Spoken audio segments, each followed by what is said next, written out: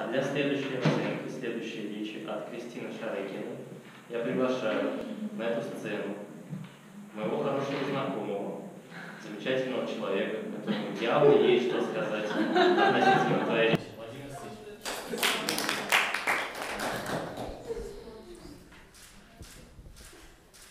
Добрый вечер, уважаемая аудитория.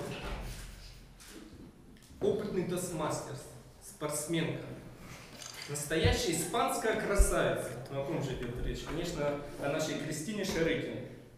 Сегодня из-за чехарды с адресами она в буквальном смысле слова э, поняла, что такое поговор- поговорка с корабля на бал. И мне был очень интересен этот опыт. Да? Мы с тобой встретили за пять минут твоего выступления, мы даже провели некую духовную и дыхательную практику перед тем, как ты вошла в эту дверь.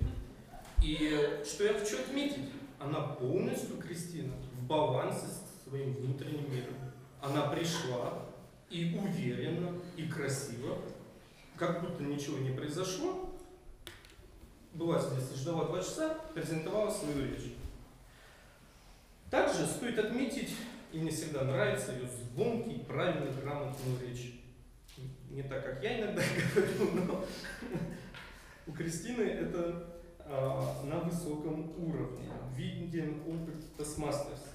И еще отдельным пунктом у меня идет ее изящество передвижения на сцене. Ну, видимо, тут сказывается ее а, хобби или, не знаю, там, вторая профессия, танцы. И это действительно очень гармонично и, может быть, даже в какой-то степени захватывающе.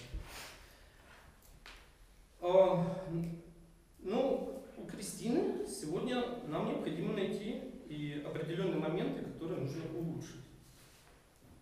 И, на мой взгляд, в ее выступлении присутствовала некая эклектичность.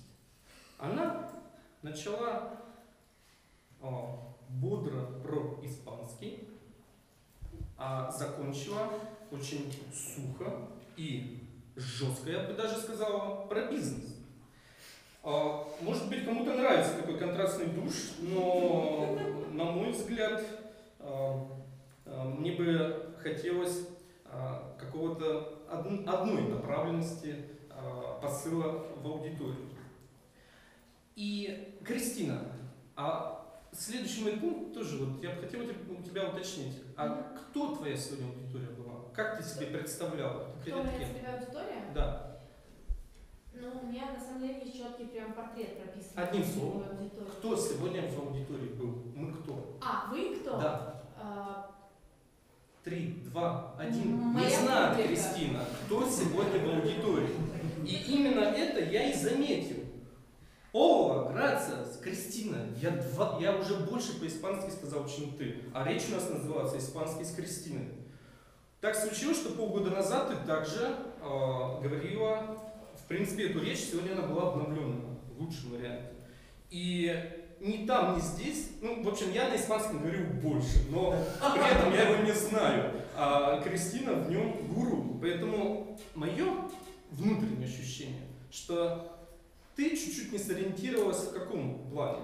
У тебя люди, которые должны купить какой-то твой проект, продукт, потому что в конце это больше было похоже на действительно какую-то промышленную э, э, значит, составляющую, где необходимо подписать контракт. Либо ты хочешь до нас, до всех донести, что испанский это здорово, и если мы придем к тебе на твою страничку, и мы посмотрим твой личный бренд, то мы полюбим испанский как ты, и мы придем к тебе на занятия для того, чтобы подпитываться твоей прекрасной энергетикой, общаться на испанском и в перерывах пить вино, да? Все,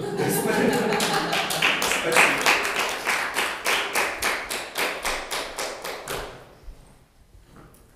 Владимиру всегда есть что сказать, он всегда укладывается в свой тайминг, но я хочу подчеркнуть, Вова, это очень здорово, что ты не побоялся сказать, что не так с речью Кристины, потому что сказать, что она была хорошая, каждый может, а вот сказать, что не понравилось, уже будет сложновато.